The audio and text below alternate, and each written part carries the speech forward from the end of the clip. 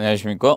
어, 이번 시간은 100페이지 자 철근과 콘크리트의 부착력부터 보도록 하겠습니다. 자 철근과 콘크리트의 부착력이 좋기 때문에 철근하고 콘크리트가 합성된 철근 콘크리트 구조가 만들어지게 됩니다. 자 그러면 여기에서 이제 중요한 것은 어, 이 철근과 콘크리트 부착력 개념은 뭐 과거에 어, 7회 때인가 그때 별도로 이제 출제가 한 번 되었었습니다. 그리고 나서 이제 종합 문제 지문 개념으로 언급이 될 수 있는 파트고 뭐 최근에 한번 나왔었죠. 자 그러면 기본적으로 알아두실 것이 여기에서는 어, 그 1번의 콘크리트의 자 강도가 커지면 어, 부착력은 좋아질 수밖에 없죠. 자 철근이 있을 때 콘크리트로 감싸죠. 그러면 콘크리트의 강도가 크다는 것은 콘크리트가 단위 면적당 밀실하다는 겁니다. 그러면 철근을 꽉 잡아줄 수 있겠죠. 그래서 부착력은 어, 커질 수밖에 없습니다. 근데 실제 시험은 2번 가지고 거의 냅니다. 2번. 그래서 어, 철근의 주장을 증가시키는 것. 자, 이것이 부착력 증가의 가장 철근의 주장이죠. 자, 주장이란 것은 어, 둘레 길이를 우리가 주장이라 해요. 주장. 그래서 이제 철근의 주장을 증가시키는 것 이것이 어, 어, 부착력 증가의 가장 효과적인 방법이에요. 부착력 어, 증가의 가장 효과적입니다.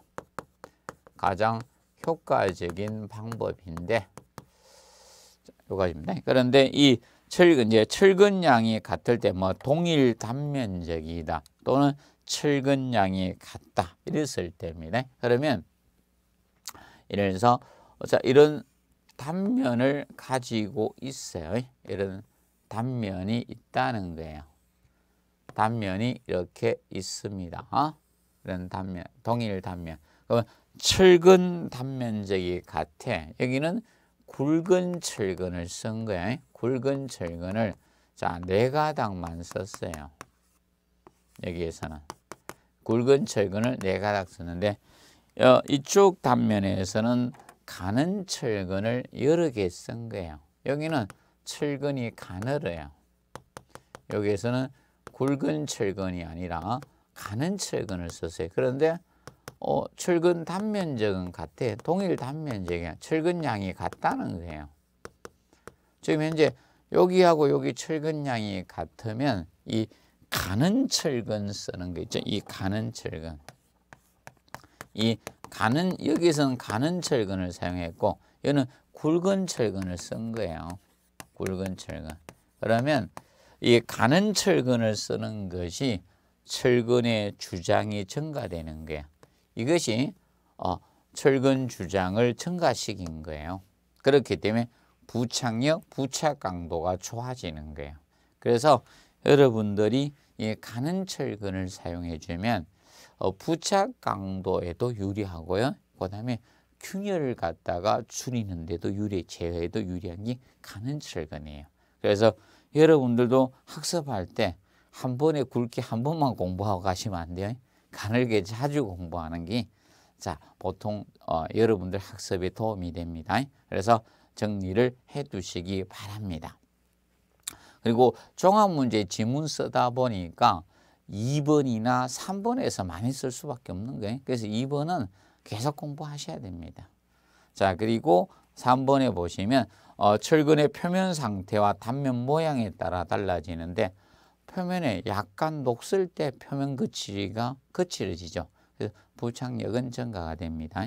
자, 그런데 니은에 보시면 원형 철근보다는 이형 철근이 크죠. 뭐 이거 뭐 지문 몇 번 언급됐었죠. 원형 철근하고 이형 철근. 그래서 이형 철근은 마디와 리버가 있기 때문에 어, 부착력이 좋아지죠. 그래서 최소 40% 이상 커져요. 최대는 200%까지는 커질 수 있습니다. 그것이 철근의 어, 지름 직경에 따라서 마디와 리버 크기가 다르기 때문에 우리가 개념상 정리를 해 두시면 되겠습니다. 그점 기억해 두시고 그다음에 이제 거기 보면 이제 여섯 번째 뭐 철근의 간격 개념 나와요. 자, 철근의 간격은 뭐 우리 시험에 한 번도 내정을 없고요. 앞으로도 낼 가능성이 적죠. 자, 철근은 자 이렇게 있을 때 자, 이형철근 툭툭 튀어나왔죠. 이런 식으로. 그러면 이렇게 이형철근이 뭐 예를 들어서 보도록 하겠습니다. 이렇게 이형철근이 있었어요. 자, 그러면 이렇게 어, 철근이 있을 때, 자 기본적으로 이겁니다. 그러면 자 이때 이 이것을 이 간격 중심에서 중심 중심 간격이 있고요. 이런 중심 간격 개념이 있고요. 중심 간격 개념이 있고 표면에서 표면까지 측정하는 표면에서 표면까지 측정하는 이것이 순간격이라게 순간격 이것을 순간격 이렇게 칭해요.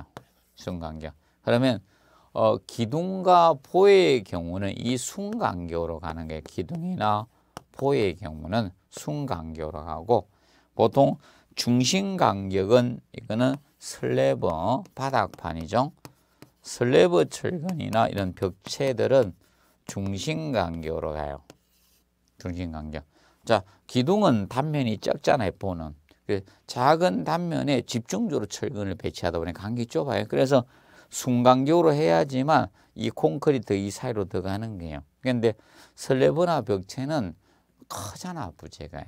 그렇다 보니까 철근 간격이 일정 넓게 들어가요. 그렇기 때문에 안 걸리는 거죠. 그러면 콘크리트가 여기 들어가야 되잖아요. 자갈이 여기 들어가기 위해서 얘는 순간격으로 따지고 어, 슬래브나 벽체의 경우는 중심 간격 형태로 간다는 겁니다. 간략히 알아두시면 되겠습니다. 자 그리고 어, 페이지 어, 100페이지 하단에 이제 7번에 철근의 피복 개념이 나오죠. 어, 철근의 피복 개념이 어, 개별 문제로 세 번 출제가 되죠. 개별 문제로. 자, 보통 철근은 녹슬기 쉽고요. 그다음에 고열에 취약할 수밖에 없죠. 그래서 철근을 피복을 하게 되는 거예요. 그러면 어, 피복의 정의 개념 가지고 뭐 사실 두 번 출제가 됐었죠. 한 번은 그림으로 내고요. 예. 한번 이론으로 내고요. 그럼 예를 들어서 기둥의 경우 예를 들어 보시면 기둥이 있다. 그럼 이런 기둥 단면이 있다라 가정을 하겠습니다. 잘랐습니다. 기둥이 있었어요. 그러면 어, 자 여기 이제 철근이 자 바깥에 어, 기둥의 주철근을 어, 감싸는 철근을 우리가 띠철근이라고 표현하죠. 띠철근. 그러면 이렇게 바깥에 감싸는 철근이 띠철근이에요. 자, 이 띠철근 개념이 있고요. 띠철근을 뭐 후프근이라고도 하죠. 후프바에서 후프근 그리고 뭐 옛날 대근이라고도 썼어요. 자 그런데 자 이 주철근이 안쪽에 이렇게 배치가 되죠. 주철근이 기둥의 주철근은 안쪽에 있어요. 수직철근이 주철근이죠. 그러면 이렇게 주철근이 안쪽에 이렇게 배치가 돼 있고 어, 바깥쪽에 띠철근, 보조철근 이렇게 가는 거예요. 그렇기 때문에 자 피복 두께를 정할 때는 콘크리트 표면에서 가장 외단에 있는 철근 표면까지 최단거리예요. 그래서 기둥의 경우는 띠철근이 이 어, 주철근 주근 개념이 아니라 바로 이것이 어, 피복 두께의 개념이 되는 거예요. 피복 두께. 그러면 기둥의 주철근을 감싸는 것은 띠철근. 그리고 보의 주철근을 감싸면 무엇이다? 늑근 stirrup이라 했어요. 그래서 보에서는 콘크리트 표면에서 자 stirrup 늑근 표면까지 최단거리가 되겠고 기둥에서는 띠철근 표면까지가 되는 겁니다. 그 점을 정확히 알아두시면 된다. 그러면 어 이제 피복 두께를 하는 자 유지하는 그 목적적인 측면은 자 철근의 방청이죠. 철근 녹슬지 않게 해주는 거예요. 맞죠? 어, 그래서 내구성 확보적인 측면 그리고 어, 철근은 고열에 약하죠. 그래서 콘크리트 피복해 주면서 내화성을 확보하는 거예요. 자 그러면서 어 이제 어 여기서 이제 콘크리트 이제 나중에 일정한 피복 두기세 부착도 확보할 것이고 그다음에 콘크리트 타사할 때이 들어가는 유동성 확보도 할 수가 있는 거예요. 그런 등등 이런 목적으로 하게 되는 겁니다. 그런데 우리가 이제 주의하실 거는 이겁니다. 어, 101페이지 보면 피복 두께 최소 규정이 나오고 있을 겁니다. 최소 규정 개념이. 자, 그래서 어, 어, 18회 때 여기에서 지문이 한번 나왔었습니다. 그래서 어, 제가 피복 두께 최소 규정을 18회 때부터는 암기를 좀 하자 했는데 유일하게 어, 지문이 나왔었어요. 그럼 앞으로 여기서 낼 겁니다. 그래서 정확히 암기를 해 놓으십시오. 그래서 수중에 자 어, 다스라는 콘크리트는 최소 규정입니다. 최소한 100mm 이상이 돼준다. 백수 이렇게 외우시면 돼요. 자 그리고 흙에 어, 묻혀서 왜냐죠? 접하해서 콘크리트 진후 영구히 흙에 묻힐 때는 80mm예요. 80mm. 그리고 흙에 접하거나 옥의 공기와 직접 자 노출되는 콘크리트는 저 직경에 따라 차이가 있다는 거예요. 그럼 D29mm 이상일 때는 어, 60mm 이상 해주자는 거죠. 그리고 D25mm 이하일 때는 우리가 50mm 이상 해주고 그리고 D16 이하일 때는 40mm. 그래서 철근의 직경에 따라서 피복 두께가 달라진다는 거예요. 그리고 옥의 공기와 접할 때 어, 맞죠? 흙이 접할 이런 영향도 준다는 거예요. 그 측면을 기억을 해 두시면 된다. 자, 그런데 4번에 옥의 공기나 흙에 직접 접하지 않는 콘크리트는 옥내가 되겠죠? 그러면 이 경우는 자, 요, 그 부재별로 약간 차이가 있다는 겁니다. 그러면 슬래브해죠? 벽체의 경우는 자, D35 초과되느냐, D35 이하에 따라 다른데 보통 아파트의 경우는 D35 이하를 씁니다. 20mm. 보통 슬래브는 20mm 이상 하라 이거예요. 자, 그런데 자, 보나 기둥의 경우는 40mm 하자. 그래서 우리도 보면요. 자, 차이가 있잖아요. 자, 여러분들 어, 팔다리의 피복하고 어, 이 슬래브이죠. 판부제의 피복 두께가 차이가 있잖아요. 그래서 여러분이 기둥보가 40mm고 슬래브는 판이잖아요. 그래서 슬래브가 외우기 힘든 분들 이렇게 외우시면 돼요. 여기 우리가 보통 뭐 가슴판 우리 얼굴을 쌍판이라 하죠. 바닥판이잖아요. 그래서 여기 이마 2cm 이렇게 외우시도 됩니다. 자 그런데 보기둥은 40mm로 하대 최소가 그런데 콘크리트 설계 기준 압축 강도 기준 강도가 40메가파스칼 이상이 된다는 것은 고강도죠. 40메가파스칼 이상 되면 10mm를 저감시킬 수 있다는 거예요. 그러면 고강도 콘크리트로 했을 때는 기둥보의 경우는 최소 30mm 이상으로 피복을 해주면 된다는 겁니다. 그것을 정확히 학습을 해 두시기 바랍니다. 정리해 두십시오. 자, 그리고 이제 그래서 102페이지 보도록 합니다. 102페이지. 자, 제4절 급푸지 공사가 나오고 있습니다. 급푸지. 어, 급푸지 공사라는 것은 급푸집은 자, 콘크리트란 것은 시멘트, 모래, 자갈을 일정 혼합을 해서 자, 비빔해가 물로 비빔해서 콘크리트 다 유동성 있죠? 유동성 있는 콘크리트를 자, 원하는 형상을 만들기 위해서 설치하는 형틀이 바로 거푸집 개념이 되는 거죠. 거푸집. 그래서 이 거푸집의 경우는 우리가 어, 주의할 것이 핵심 포인트는 거푸집 하면 이것을 기억을 해 두시면 됩니다. 그래서 104페이지 보면 거푸집 부속품하고 거푸집 부속품적인 측면하고 그 다음에 어, 105페이지 보면 생구의 처갑이 나와요. 처갑. 어, 두 가지가 핵심 포인트예요. 두 가지를 정확히 학습을 하시고 그리고 나서 어, 난이도 조절을 위해서 언급할 때는 103페이지부터 나오는 그 부지 및 동발이 해체와 관련된 부분 있죠. 이 부분을 정리하시면 돼요. 해체 관련된 거. 그러면 일단은 주 키포인트는 그 부지 부속품과 처갑에 대해서 키포인트고요. 그리고 해체가 부수적으로 알아두셔야 됩니다. 그렇게 학습을 하면 그 부직과 관련된 것은 완벽하게 처리가 된다 이렇게 보시면 됩니다. 자 그러면 자 그래서 이제 103페이지 거기 보시면 그 부지 및 동발이 했지. 자 동발이란 것은 자 수평부재 있죠. 수평부재는 힘 모멘트를 받기 때문에 처질 수밖에 없죠. 그러면 어 그 부집 대가 처지면 툭 떨어지잖아요. 그러면 어 그 부집 처지지 않도록 밑에 어, 파이프나 이런 나무 가지고 받치죠. 그게 동발이에요. 받침 기둥이 동발입니다. 자, 그래서 그 점을 우리가 알아두시는데 그래서 이제 거푸집이 동발이 해체와 관련돼서 1번에 보시면 거푸집 동발이는 콘크리트 자중 및 시공에 가해지는 하중을 지지할 수 있는 강도로 우리가 당연히 해야 되겠죠. 어, 어, 강도를 가질 때까지는 해체할 수가 없는 겁니다. 그러면 강도 가질 때 해체를 할 수가 있는 거죠. 정면 봐두시면 되겠고 그러면 이제 그 부집적인 측면에서 거기 3번에 보시면 기초 보의 측면 기둥벽의 그 부지 해체는 어 거기 아래와 같이 시행한다라고 해놨죠. 그런데 내구성이 중요한 구조물의 경우는 우리가 압축 강도 10메가파스칼 이상일 때 해체할 수 있다는 겁니다. 그럼 밑에 표를 보십시오.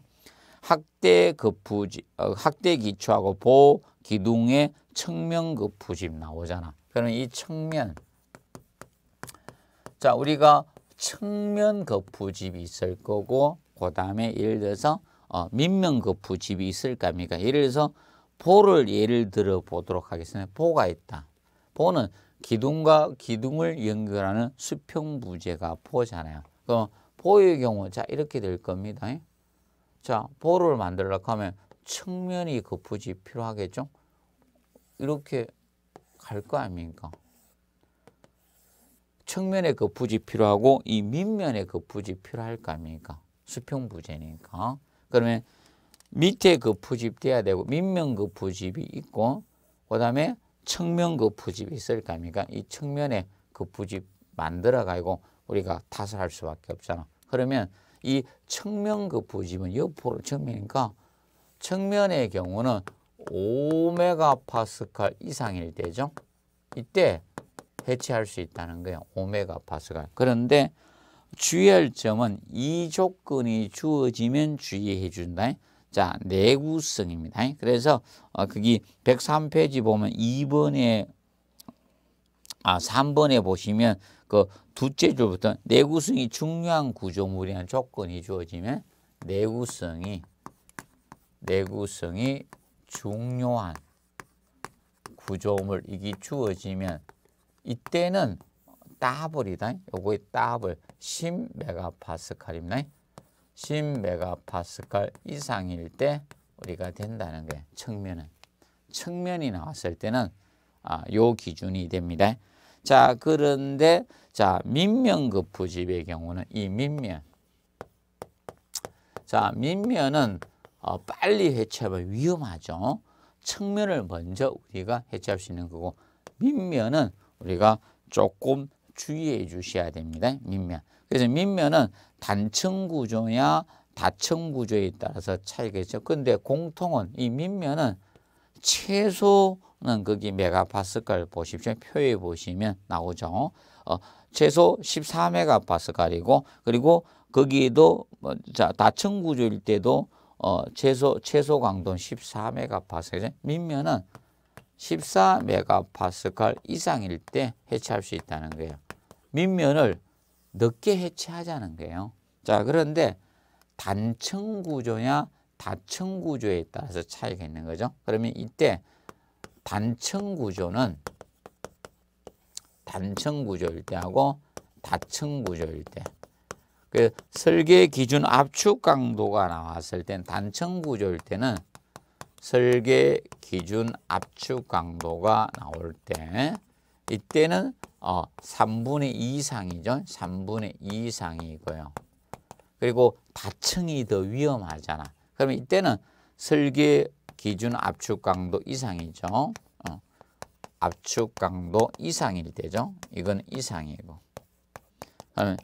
다층은 더 늦게 철가는 거죠. 그래서 어, 어, 개념이 정확히 구분해 두시면 되겠습니다. 아, 그래서 측면이 빨리 해체할 수 있는데 내구성이 중요한이란 조건이 주어지면 그때는 10메가파스칼 이상일 때 해체할 수 있다는 겁니다. 그 점을 정확히 학습을 해 두시고요. 그 다음에 104페이지 보시면 콘크리트 압축 강도를 시험하지 않을 경우에 자, 그 부지 해체 시기에 대해서 해놓은 거예요. 자, 그러면 이거는 시멘트의 종류에 따라서 차이가 있죠. 조강 포틀랜드 시멘트야. 보통 포틀랜드 시멘트 시멘트에 따라 틀리다. 자, 조강은 빠르게 강도가 나오죠. 그렇기 때문에 빨리 해체할 수 있다는 거고 그리고 온도에 따라서 차이가 있는 거죠. 그러면 우리가 이제 조강 포틀랜드 시멘트 조강하고 그리고 자 보통 포틀랜드 시멘트하고 자 구분해서 정리하면 돼요. 그러면 온도가 높을 때하고 자 온도가 높을수록 응결 경화가 빠르게 발생하잖아요. 온도가 높을 때 응결 경화가 빠르고 빨리 강도가 나오죠. 온도가 낮으면 응결 경화가 느릴 거 아닙니까? 그래서 20도씨 이상 하고 20도씨 미만으로 공부하면 되죠. 20도씨 미만. 10도씨 이상이 되고 미만. 자, 그러면 자, 조광 포틀렌트 시멘트는 2일이죠. 2. 요걸 기준 잡아서 20도씨 이상의 2입니다. 조광은 조2입니다. 자, 그러면 여기에서 그럼 보통은 늦게 강도가 나오니까 하루 증가시키면 되는 거죠. 그리고 온도가 높을 때 강도가 빠른 게 2일이니까 온도가 낮아지면 어, 더뭐 해야 된다?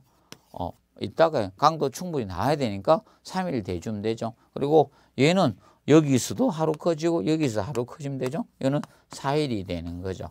그래서 이거는 압축 강도 시험하지 않을 때입니다. 압축 강도 시험을 안 할 때는 해체 시기에서 이렇게 어, 우리가 할 수가 있다는 겁니다. 그, 그래서 이제 기억하실 거 이것도 이거는 측면거 부지만 해체할 수 있는 거예요. 압축 강도 안 할 때는 이거는 측면거 부지 밑면은 안 돼. 밑면은 강도 시험을 해야 돼. 밑면은 밑면은 강도에 위험하니까 그래서 측면은 강도 시험 안 했을 때는 조강일 때는 2일 그래서 20도 이상 그래서 이거는 언급은 안 됐습니다. 그래서 이거는 난이도 조절하면 아마 언급이 될 가능성이 있지 않겠나 이렇게 보시면 됩니다.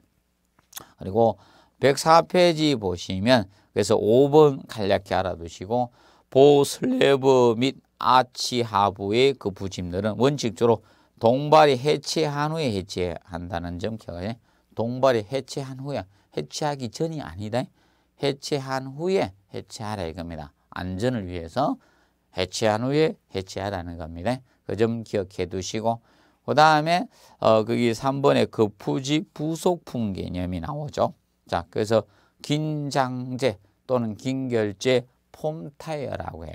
자 그러면 콘크리트를 부어 놓으면 처갑에서 그 부집이 벌어질 수 있죠. 오르질 수 이걸 방지하기 위해서 어, 해주는 철물이 긴결제 또는 우리가 긴장제 폼타일라고 칭합니다. 뭐 사람으로 치면 허리띠 밖에 두는 게 이기죠. 예. 그래서 어, 콘크리트는 그래서 거기 어 거기 뭐 별표 개념 별 중요 표시해놨죠.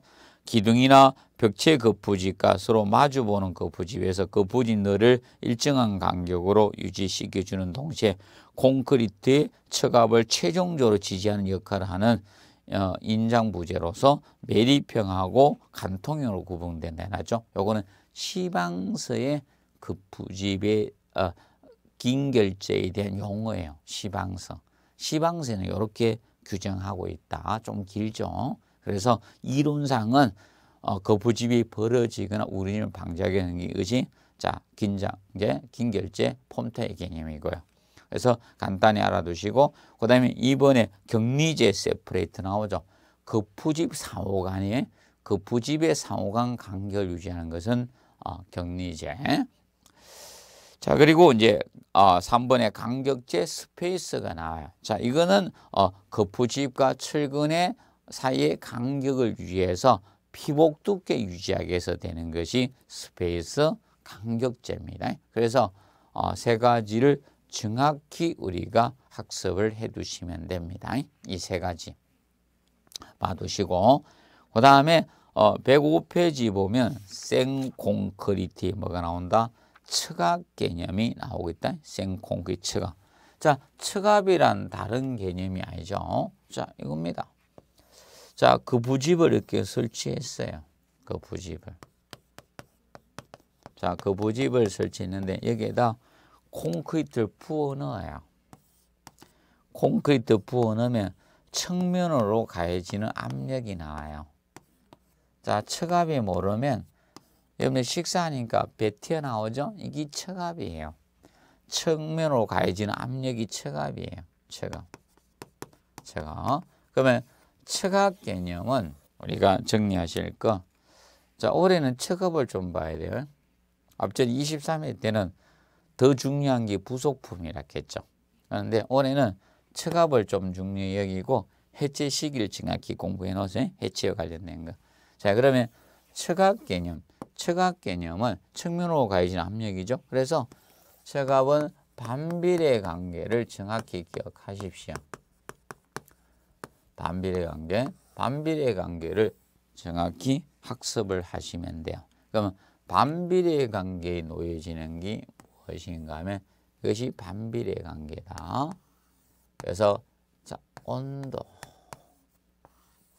자, 온도가 높으면 빨리 응결 경화가 되죠. 빨리 굳어버려요.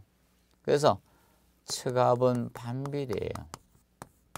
때문에 그러면 온도가 낮게 됐을 때 척압은 되죠. 그래서 반비례 관계예요. 그리고 두 번째 철근양, 철골량이죠. 철근양. 자, 철근양하고 척압은 반비례예요. 철근양하고 척압은. 그러면 철근 양이 많아지면 척압이 어떻게 줄어들어요. 그래서 이해가 안 되신 분들은 자 식사했을 때 아랫배가 튀나옵니까? 자 갈비뼈가 튀나옵니까? 이걸 기억하시면 돼. 철근이죠. 사람의 철근은 뼈잖아요. 그래서 철근 양이 많으면 척압은 줄어들죠. 어? 그래서 반비례 관계예요. 자. 그다음에 이제 어, 그 부집에 어, 뭐 투수성이라 쓸 수도 있고 투수성, 물에 빠짐성이 물이 투관성이죠. 또는 누수성 이렇게 쓸 수도 있는 거고 물이 새는 거. 그러면 투수성하고 척압은 반비례 관계에 속합니다. 두 가지는 반비례예요. 척압은 두 가지는 반비례, 반비례. 그래서 물 빠짐성이 좋으면 척압은 줄어들죠. 물이 안 빠졌을 때 척압이 그죠. 그래서 이건 반비례예요.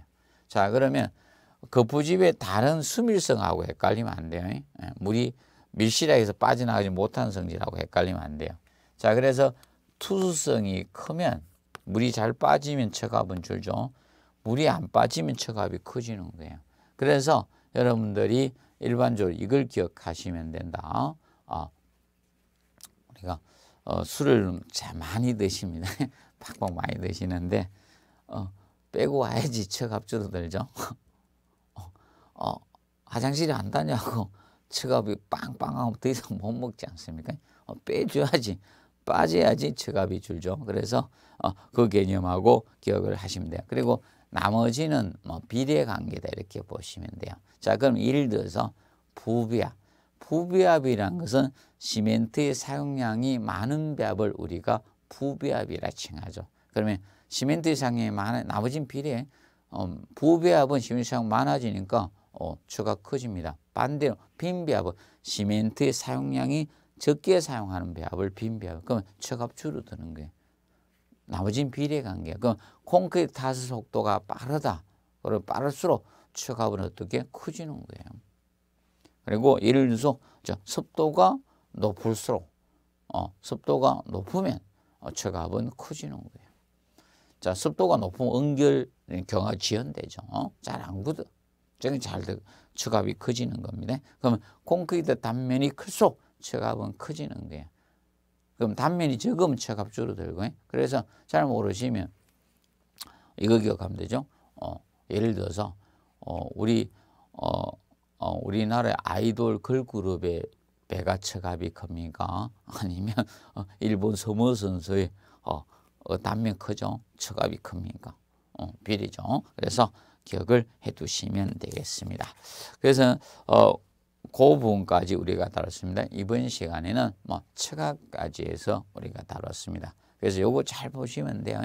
어, 그래서 어, 우리가 거푸집 하면 어, 거푸집 부속품 그리고 바로 뭐다 처갑 이걸 기본으로 잡으면서 올해 난이도를 조금 조절하기 위해서 어, 우리가 거푸집 동발의 해체와 관련돼서 언급을 할 거예요.